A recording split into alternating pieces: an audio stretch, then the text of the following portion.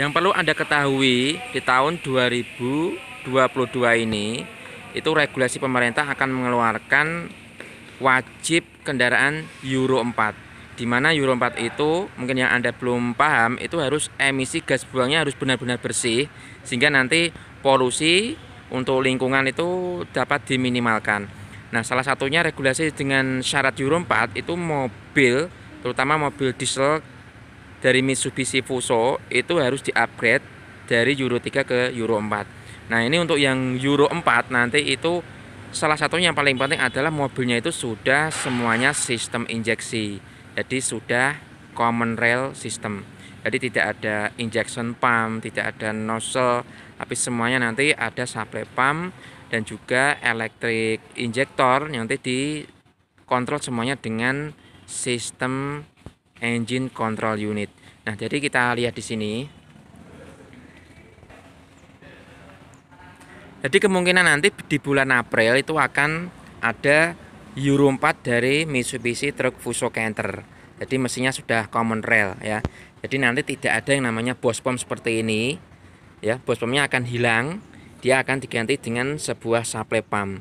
Supply pump itu nanti ada sebuah gigi yang dihubungkan langsung dengan timing gear kemudian dia akan menghisap dari tangki ya. Ada sistem elektronik namanya sanction control valve. Itu mengalihkan bahan bakar yang nantinya akan menuju ke rail ya. Rail untuk bertekanan tinggi dan ada nanti injektor. Kalau yang mobil lama seperti ini dia injektornya dia manual tidak dikontrol secara elektronik. Namun nanti untuk yang cold diesel baru dia ini sudah ada kabelnya dua. Dia bisa on off tergantung dari beberapa masukan sensor. Jadi semuanya nanti akan banyak sensor di kendaraan Mitsubishi Cold Diesel Fuso Canter. Banyak sensor dikontrol secara elektronik, ada komputernya ya. Kemudian injektornya pun elektronik semua. Karena mobil sudah common rail system, itu bahan bakar yang digunakan itu wajib dexlet atau pertadek ya. Karena dexlet pertadek itu sangat mahal sekali bisa menggunakan solar. Namun yang perlu diwaspadai adalah filter solarnya. Jadi untuk filter solarnya nanti pun dia tidak menggunakan seperti ini. Dia saringannya akan lebih halus seperti mobil common rail seperti Pajero Sport kemudian Fortuner Innova seperti itu. Dia saringannya benar-benar halus sehingga nantinya dia masuk ke supply pump dan ke injektornya dia akan benar-benar hanya solar atau bahan bakar yang mengalir di situ. Tidak ada kotoran lembut ataupun halus yang bisa nanti mengakibatkan injektornya ini tersumbat. Jadi ada dua buah filter. Nanti filter yang utama ada di atas dan nantinya juga ada filter yang ada di bagian bawah juga. Kalau yang seperti ini kan water separator ya untuk kode selama nanti juga ada filter yang khusus di common system. Nah karena dexlet itu sangat mahal ya hampir dua kali lipat dari harga solar. Meskipun nanti mobil niaga untuk bisnis common rail itu menggunakan solar pun masih bisa. Namun harus yang diwaspadai adalah dari kondisi filter solarnya. Mungkin nanti bisa diakal ditambahi filter tambahan. Jadi ada tiga buah filter solarnya sehingga nanti jika menggunakan solar engine dari Common Rail Mitsubishi Fuso Cold Diesel Canter ini masih tetap aman.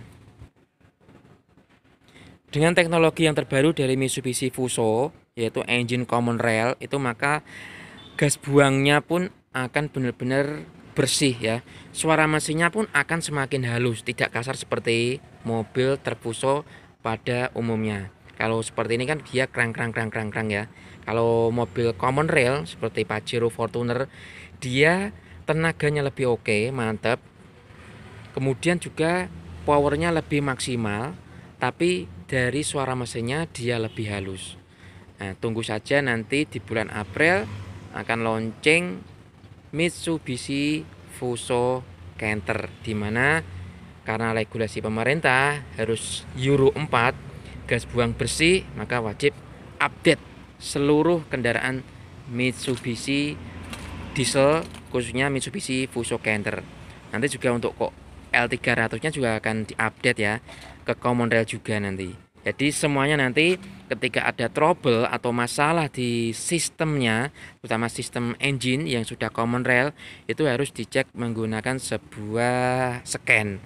Jadi mobil niaga dicek menggunakan scan. Seperti mobil yang lama atau factor yang sudah menggunakan mesin common rail terlebih dahulu, ya, itu juga nanti ada scannya, termasuk Mitsubishi Fuso Canter ini. Semoga bermanfaat informasi mengenai truk Fuso Canter 2022 yang akan upgrade ke Common Rail System. Kita akan lihat nanti mesinnya seperti apa, apakah dari turbo, radiator, kemudian sistem pendingin, juga dari kaki-kaki suspensi, dan juga transmisi atau gadanya apakah masih sama atau sudah berbeda. Karena nanti yang diupgrade terutama itu dari sisi engine-nya